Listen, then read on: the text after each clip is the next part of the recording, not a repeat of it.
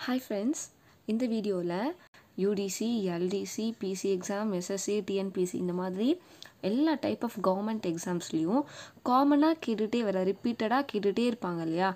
Sums எல்லாமே வந்து பார்க்க போகிறோம் எந்த டாபிக் பேஸ் பண்ணினா அல்ஜிப்ரா அண்ட் சிம்பிளிஃபிகேஷன் இந்த டாப்பிக்கை கவர் பண்ணுற மாதிரி ஸ்டாண்டர்டாக இதெல்லாம் வந்து பார்த்திங்கன்னா இந்த கொஷின் பேப்பரில் இந்த ஃபார்மேட்டில் ஒரு கொஷின் கேட்டுருவாங்க. அப்படி இருக்கு இல்லையா? அந்த மாதிரி டைப் ஆஃப் சம்ஸ் எல்லாமே இந்த ஒரு வீடியோவில் நம்ம பார்க்க போகிறோம் ஓகே இதெல்லாம் வந்து ஜஸ்ட் ஃபார்மட் இதே சம்ஸாக எக்ஸாக்டாக வரும் அப்படின்னு சொல்ல முடியாது. இந்த ஸ்க்ரீனில் டிஸ்ப்ளே ஆகுது இல்லையா? அல்ஜிப்ரிக் ஐடென்டிட்டிஸ் இது எல்லாமே வந்து படித்து வச்சுக்கோங்க. நம்ம இதெல்லாம் சின்ஸ் எயித் ஸ்டாண்டர்ட்லேருந்தே படிச்சுட்டு வரோம் இல்லையா? ஸோ இதை பேஸ் பண்ணி கண்டிப்பாக கொஷின் கேட்பாங்க. ஓகே ஸோ இதெல்லாமே படிச்சுக்கோங்க. இது தெரிஞ்சால் தான் நம்ம இந்த அல்ஜிப்ரா அண்ட் சிம்பிளிஃபிகேஷன் டாப்பிக்லேருந்து கவர் ஆகிற எல்லா சம்ஸும் நம்ம சால்வ் பண்ண முடியும். ஓகேங்களா ஃபர்ஸ்ட் கொஷின் பாருங்கள் if x by y equal to six by five then x square plus y square divided by x square minus y square is. இந்த வேல்யூவை வச்சு நம்ம இந்த டேர்முக்கான ஆன்சர் என்ன அப்படின்னு ஃபைன் பண்ண போகிறோம் ஃபஸ்ட்டு என்ன கொடுத்துருக்காங்க? இதை நம்ம எடுத்துக்கலாம். சிக்ஸ் பை ஃபைவ் இதோட மீனிங் என்னென்னா எக்ஸ் இருக்கிற இடத்துல அதாவது இந்த ஃப்ராக்ஷன் நியூமரேட்டரில் எக்ஸோட வேல்யூ சிக்ஸாக இருக்குது இங்கே ஒய்யோட வேல்யூ ஃபைவாக இருக்குது இது வந்து ஃப்ராக்ஷன் நியூமரேட்டர் டினாமினேட்டர் ஈக்குவல் கொடுத்துட்டாங்க. அப்போ எக்ஸோட வேல்யூ சிக்ஸ் ஒய்யோட வேல்யூ ஃபைவ் இதுதான் இங்கே மீனிங் ஓகேங்களா இதை நாம் இந்த ரெண்டு வேல்யூவும் இந்த டேர்மில் சப்ஸ்டியூட் பண்ணிட்டா நம்மளோட ஆன்சர் வந்துடும் x square plus y square divided by x square minus y square இல்லையா? எக்ஸோட வேல்யூ சிக்ஸ் ப்ளஸ் ஒய்யோட value five divided by six square minus five square which is equal to six square பண்ணால் thirty six and five square பண்ணால் twenty five six six are thirty six five five are twenty five இப்போது thirty சிக்ஸையும் twenty ஃபைவையும் நம்ம add பண்ணோன்னா fifty one கிடைக்கும். And thirty சிக்ஸையும் twenty ஃபைவையும் சப்ராக்ட் பண்ணால் லெவன் கிடைக்கும் ஓகேவா இந்த ஆன்சர் ஆப்ஷனில் இருந்ததுன்னா டிக் பண்ணுங்கள் இதுவே வந்து மிக்ஸ்டு ஃப்ராக்ஷன்லேயும் கொடுக்கறதுக்கு சான்ஸ் இருக்குது ஓகேங்களா அதாவது இந்த சிக்ஸ்டி ஒன்னை நம்ம லெவனால் டிவைட் பண்ணணும். Okay five elevens are fifty five balance six கிடைக்கும். ஓகே இதை எப்படி எழுதணும்னா மிக்ஸ்டு ஃப்ராக்ஷனில் டினாமினேட்டரில் இருக்கிற லெவன் அப்படி தான் இருக்கும். கோஷன்ட் இருக்குது இல்லையா? ஃபைவ் அதை இங்கே சைடில் போட்டுக்கோங்க. இந்த ரிமைண்டரை மேலே நியூமரேட்டரில் போட்டுக்கோங்க. ஓகேங்களா இந்த மிஸ்டு ஃப்ராக்ஷன் வந்தாலும் நீங்கள் அந்த ஆப்ஷனில் எங்கே இருக்குன்னு பார்த்து நீங்கள் சூஸ் பண்ணிக்கலாம்.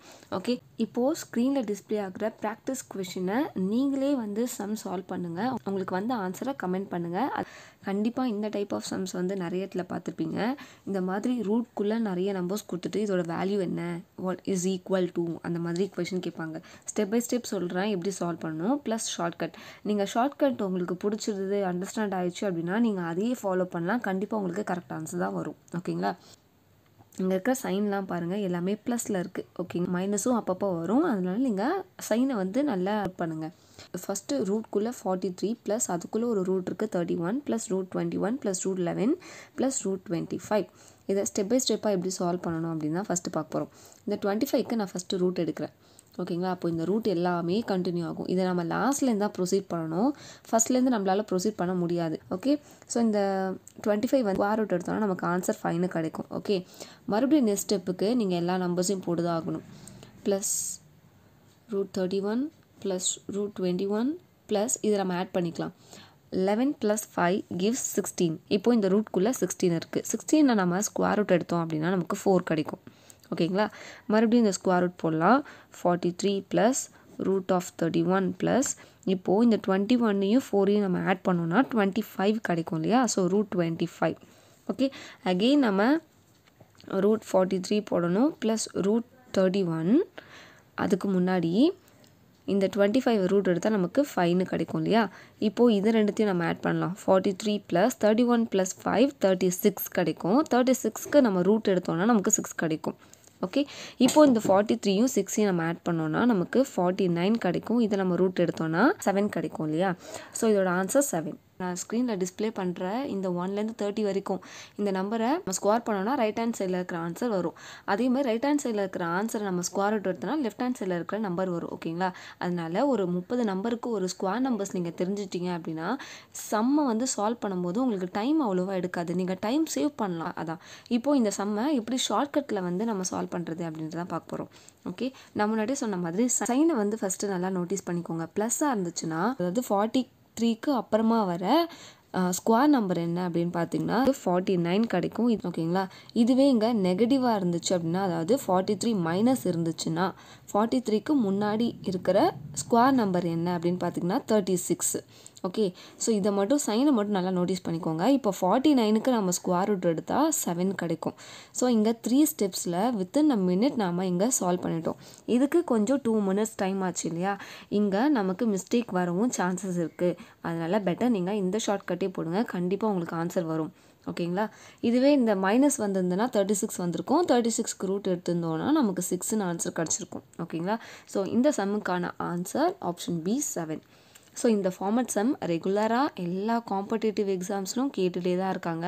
ஸோ அதோட ஷார்ட்கட்டை நீங்கள் லேர்ன் பண்ணிக்கோங்க. இப்போ ப்ராக்டிஸ் கொஷின் அதோட ஆன்சரை எனக்கு கமெண்ட் பண்ணுங்கள் அது கரெக்டாக இல்லையா அப்படின்ட்டு நான் உங்களுக்கு கமெண்ட்டில் ரிப்ளை பண்ணுறேன் நெக்ஸ்ட் இம்பார்ட்டண்ட் ஃபார்மேட் என்னென்னு பார்த்தீங்கன்னா போர்ட் மாஸ் ரூலை பேஸ் பண்ணி வர கொஷின்ஸ் ஃபார்மேட் இந்த ஃபார்மேட் வந்து கண்டிப்பாக கேட்பாங்க. கன்ஃபியூஸ் பண்ணுற மாதிரி இருக்கும். ஆனால் ஒன்ஸ் நீங்கள் அந்த போர்ட் மாஸ் ரூல் வந்து தெரிஞ்சிச்சுன்னா ஈஸியாக வந்து கொஷினை சால்வ் பண்ணிடலாம்.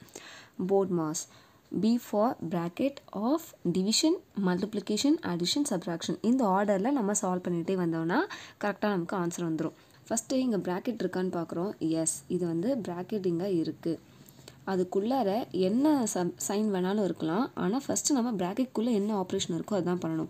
Zero point two into zero point two இதை வந்து நிறைய பேர் ஜீரோ பாயிண்ட் ஃபோர் போட சான்சஸ் இருக்குது ஃபஸ்ட்டு வந்து நீங்கள் என்ன பண்ணுறீங்கன்னா டூ வியும் டூ வியும் மல்டிப்ளை பண்ணிக்கோங்க.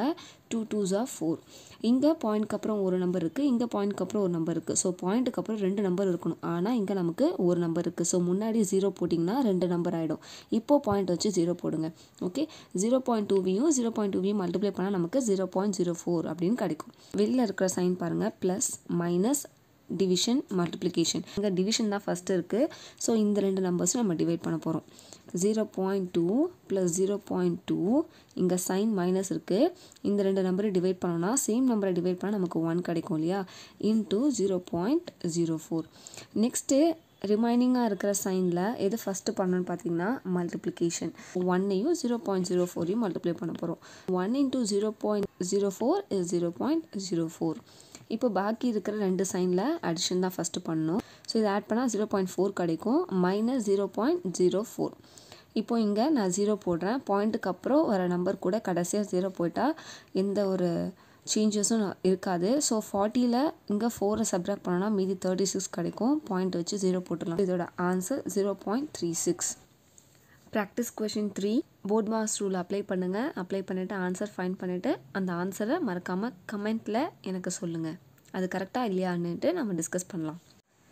நெக்ஸ்ட் ஃபார்மேட் பார்த்தீங்கன்னா ஸ்கொயர் ரூட் கண்டுபிடிக்கிறது. ஒரு நம்பரையோ இல்லை ஒரு அல்ஜிபிரிக் டேர்மையோ கொடுத்து ஸ்கொயர் ரூட் கண்டுபிடிக்க சொன்னால் எப்படி ஆன்சர் ஃபைன் பண்ணுறது அதான் பார்க்க போகிறோம் நார்மலாக ஒரு நம்பரை ஸ்கொயர் ரூட் எடுக்கிறதுக்கு ரொம்ப ஈஸியாக இருக்கும். இதுவே அல்ஜிபிரிக் டேர்ம்ஸ் வந்துச்சுன்னா சில பேருக்கு கொஞ்சம் கஷ்டமாக ஃபீல் பண்ணுவாங்க. இப்போது இந்த மாதிரி டைப்பில் சம்ஸ் வந்துச்சுன்னா எப்படி சால்வ் பண்ணுறது அதுதான் பார்க்க போகிறோம் இப்போது இந்த டேர்மில் பார்த்தீங்கன்னா டுவெண்ட்டி ஃபைவை நம்ம ஃபைவ் ஸ்கொயர் அப்படின்னு எழுத முடியும். எக்ஸ் பவர் சிக்ஸ்டீனை நம்ம ஸ்கொயர் வச்சு எழுதணும். எப்படி எழுதுறது அப்படின்னா இந்த சிக்ஸ்டீனை டூவால் டிவைட் பண்ணிக்கோங்க. டிவைட் பண்ணால் நமக்கு எயிட்டுன்னு கிடைக்கும் இல்லையா? அந்த எயிட்டை எக்ஸுக்கு பவரில் போட்டுக்கலாம். ஏன்னா அப்போ தான் இந்த ஸ்கொயரும் இந்த ரூட்டும் கேன்சல் ஆகும். ஸ்கொயர் ரூட்னா பவர் ஒன் பை டூன்னு எழுதலாம். இதுவே க்யூப் ரூட்டாக இருந்துச்சுன்னா பவர் ஒன் பை த்ரீ அந்த மாதிரி எழுதணும். ஃபோர்த் ரூட்டாக இருந்தால் பவர் ஒன் பை ஃபோர் அப்படின்னு எழுதணும். இந்த மாதிரி தான் நம்ம எக்ஸ்ப்ரெஸ் பண்ணணும். அப்படி இங்கே எக்ஸ் பவர் சிக்ஸ்டீன் இருக்குது ஸோ அந்த சிக்ஸ்டீனை நம்ம எப்படி பிரிக்கிறோன்னா sixteen is equal to eight into two அப்படின்னு பிரிக்கலாம் இல்லையா? பவர் ரூல் ஒன்று நம்ம எயிட் ஸ்டாண்டர்ட்லேயே படிச்சிருப்போம். A power M the whole power N இந்த ஃபார்மெட்டில் இருந்துச்சுன்னா அதை நாம் A power M into N அப்படின்னு எழுதலாம்.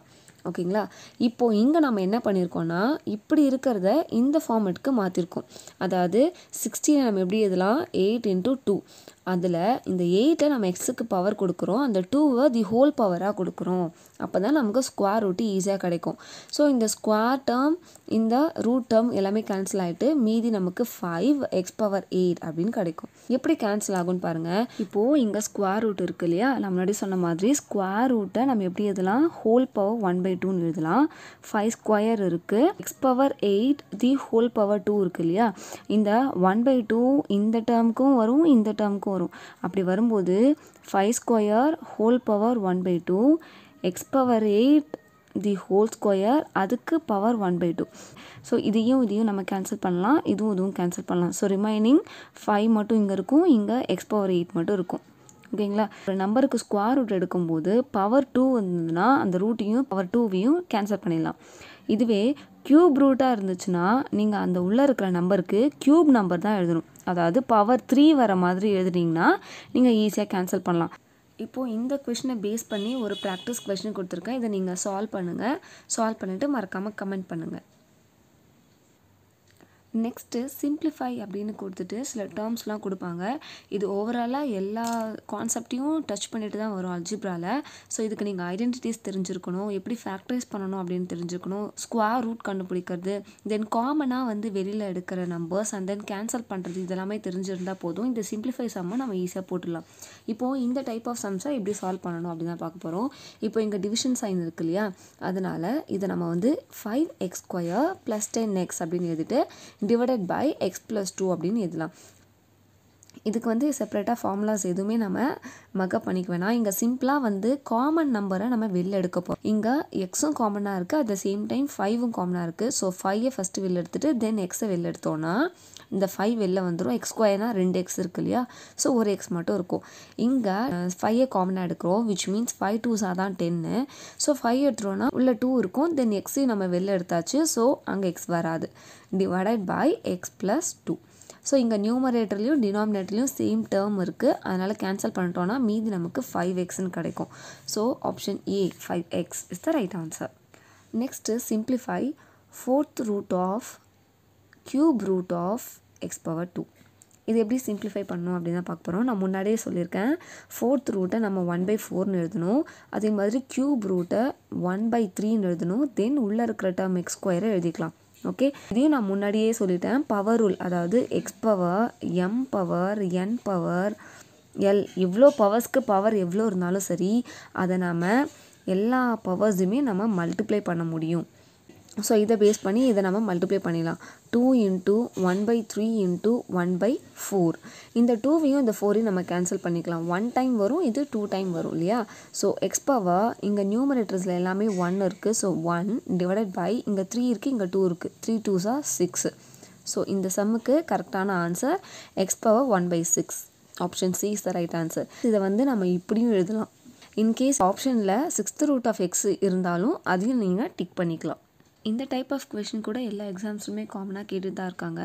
இப்போது நம்பர்ஸ் எல்லாம் அப்சர்வ் பண்ணிங்கன்னா இங்கே இருக்கிறதே ரெண்டே ரெண்டு நம்பர் தான். ஒன்று one hundred and forty seven இன்னொன்று one hundred and forty three இங்கே one hundred and forty seven three times multiply ஆயிருக்கு. ஸோ இதை வந்து one hundred and forty seven க்யூப்னு எழுதலாம். தென் ப்ளஸ் இருக்குது இந்த பக்கம் பார்த்தீங்கன்னா இந்த நம்பர் வந்து த்ரீ டைம்ஸ் மல்டிப்ளை ஆயிருக்கு. அதாவது one hundred and forty three க்யூப்னு எழுதலாம். டிவைடட் பை இங்கே one forty seven one forty seven ரெண்டு தடவை மல்டிப்ளை பண்ணியிருக்காங்க. ஸோ இதை நம்ம ஸ்கொயர்னு எழுதிக்கலாம். Minus one forty seven into one forty three இது அப்படியே இருக்கட்டும். தென் இதை வந்து ஒன் ஃபார்ட்டி த்ரீ ஸ்கொயர் அப்படின்னு எழுதலாம். நமக்கு ஒரு அல்ஜிப்ரிக் ஐடென்டிட்டி ஒன்று தெரிஞ்சிருக்கணும். ரெண்டுமே க்யூப் நம்பர் சம்மில் இருக்கு இல்லையா? So sum of the cubes formula தெரிஞ்சிருக்கணும்.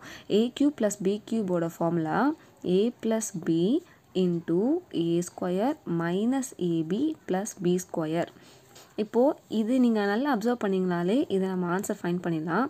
கீழே இந்த ஃபார்மேட் இருக்குது பாருங்களேன். ஏ ஸ்கொயர் டேர்ம் இருக்குது minus AB plus B square term இல்லைங்களா?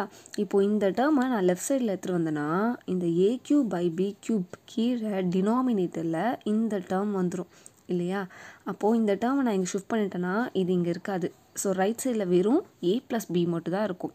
அதாவது இந்த சம்முக்கான ஆன்சர் இந்த ஒன் ஃபார்ட்டி செவனையும் ஒன் ஃபார்ட்டி த்ரீயையும் ஆட் பண்ணணும்.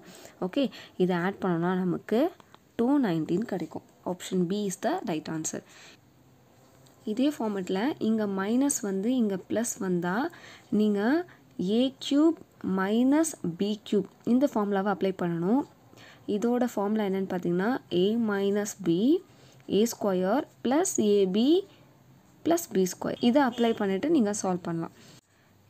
இப்போது ப்ராக்டிஸ்க்கு ஒரு த்ரீ சம்ஸ் கொடுத்துருக்கேன். சிம்பிளிஃபைல ரெண்டு சம் அண்ட் இப்போ லாஸ்ட்டாக பார்த்தோம் இல்லையா அந்த ப்ராப்ளம் பேஸ் பண்ணி ஒரு சம் இது வந்து ரிப்பீட்டடாக வந்து கவர்மெண்ட் எக்ஸாம்ஸில் கேட்டுகிட்டே தான் இருக்காங்க. ஸோ இந்த மூணு கொஷின்ஸுக்குமே நான் ஆப்ஷன்ஸ் எதுவுமே தரல. ஆப்ஷன்ஸ் இல்லாமல் நீங்கள் சால்வ் பண்ணுங்கள் உங்களை நீங்களே எவாலுவேட் பண்ணிக்கோங்க. இந்த ஏழில் நீங்கள் எவ்வளோ சம்ஸ் வந்து நீங்கள் கரெக்டாக போட்டிருக்கீங்க அப்படின்ட்டு உங்களை நீங்களே எவாலுவேட் பண்ணி மறக்காமல் எனக்கு கமெண்ட்டில் சொல்லுங்கள் இன்னொரு வீடியோவில் செட் ஆஃப் மேக்ஸ் ப்ராப்ளம்ஸோட உங்கள் எல்லாரையும் மீட் பண்ணுறேன் தேங்க்யூ ஃபார் வாட்சிங் டேக் கேர் பாய்